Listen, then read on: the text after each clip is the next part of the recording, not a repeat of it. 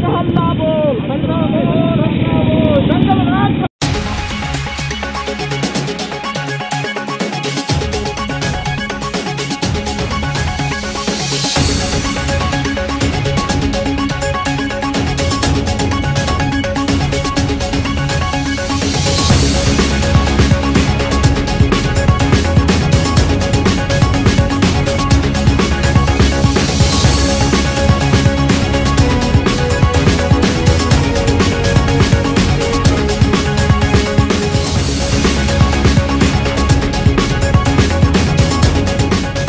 आज सूबे के मुखिया योगी आदित्यनाथ, जो हमारे प्रदेश के मुख्यमंत्री हैं, उनकी शव यात्रा निकालने का कारण यही है कि वो सो रहे हैं। प्रदेश में जंगल राज कायम है।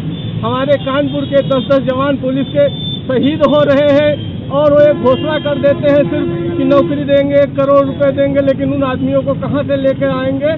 जिनकी हत्याएँ हो गई हैं। अपने ऊपर से तो योगी ने सारे मुकदमे अपने उठवा लिए।